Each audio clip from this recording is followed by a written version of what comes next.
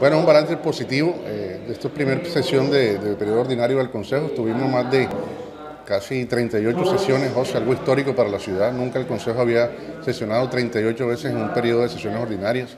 Tuvimos varios debates interesantes, invitados especiales. Por primera vez en el Consejo estuvo la presente la Superintendente de Servicios Públicos eh, Nacionales, que es la doctora Natasha Bendaño, para hablar sobre el tema Electricaribe, que tanto nos ocupa y nos preocupa en este momento, y que estuvo la oportunidad de estar aquí en el Consejo de Barranquilla. Estuvimos también analizando y discutiendo el tema del río Magdalena, eh, creo que es el activo natural que es más importante que tiene la ciudad, y garantizar la competitividad de Barranquilla.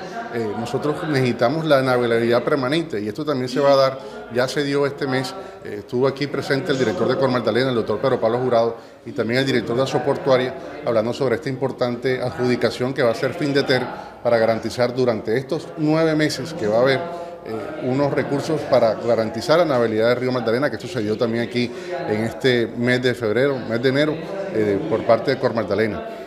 También estuvimos acá hablando con distintos secretarios, estuvieron en el Consejo, el secretario del director de la ADI para hablar sobre los parques de la ciudad de Barranquilla, cómo va a ser el programa el de mejoramiento, mantenimiento y reconstrucción de estos escenarios en la ciudad.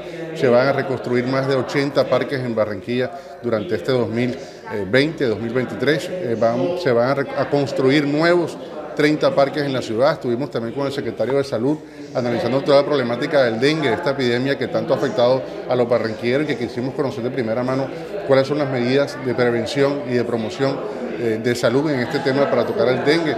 Tuvimos también el del secretario de Obras Públicas para conocer los avances de, en la calle 30, ¿no? que ha paralizado la ciudad y que ha afectado al sector del comercio de, este sector. Es decir, el Consejo estuvo activo, estuvo participativo, hemos ido a la calle, hicimos más de cuatro sesiones descentralizadas en Barranquilla, tratando de acercar la corporación a la gente.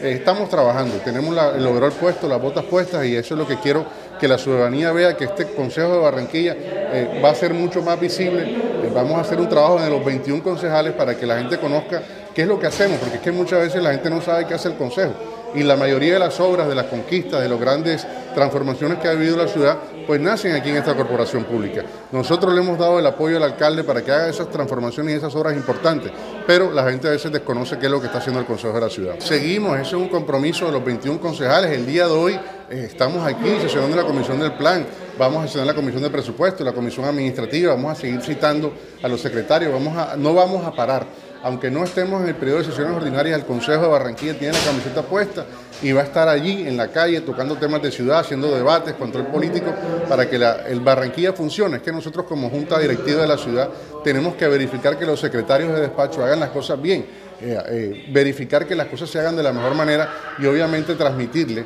a, la administración cuáles son las quejas de la comunidad, porque nosotros somos los que estamos allí en los barrios recorriendo, escuchando, aprendiendo y verificando pues, que, que esas necesidades de los barranquilleros se transmitan a la administración distrital.